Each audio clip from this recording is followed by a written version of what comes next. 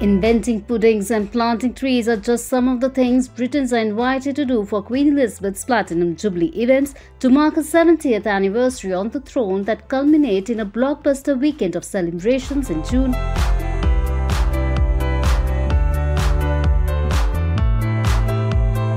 The 95 year old, the longest reigning monarch in British history, will add another milestone when she marks her Platinum Jubilee in February, with the government planning four days of celebrations from 2nd to 5th June.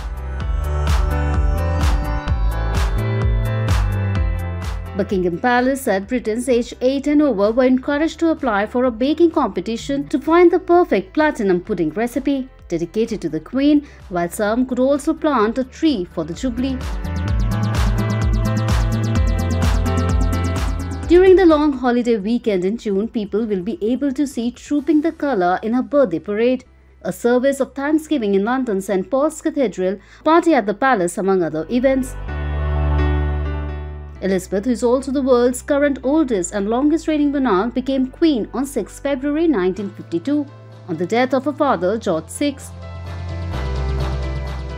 In September 2015, she overtook the length of time her great-great-grandmother Queen Victoria had spent on the throne, remarking that the historical moment was not one to which I have ever aspired. The plans are similar to those which marked the Queen's 60th anniversary in 2012 when Britain held four days of events in her honour, including a huge flotilla on the River Thames and kicked off with a star-studded concert at Buckingham Palace.